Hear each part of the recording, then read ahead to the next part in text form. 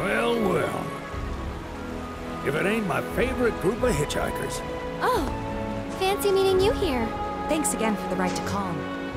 Ah, don't mention it. It's the least I could do for two such lovely young ladies. But I do believe I neglected to introduce myself. The name's Bill, and you can count on me for a lift anytime. Except today, that is. Afraid the old butte's pulled up lame.